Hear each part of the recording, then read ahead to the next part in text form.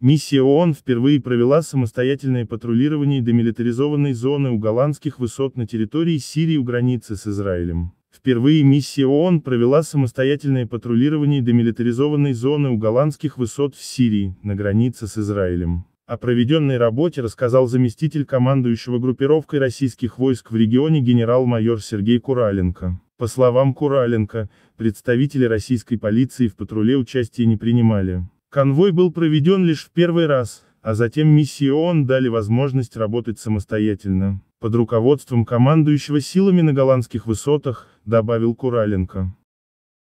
Добавим, как ранее сообщал специальный представитель президента России по Сирии Александр Лаврентьев, миссия ООН по разграничению работает в зоне на границе Сирии и Израиля по согласованию, в том числе с израильской стороной. Кстати, ранее официальный представитель МИД России Мария Захарова сообщала, что в Сирию могут вернуться порядка двух миллионов беженцев, покинувших страну из-за военных действий. В общем и целом Захарова отметила положительную тенденцию в вопросе урегулирования.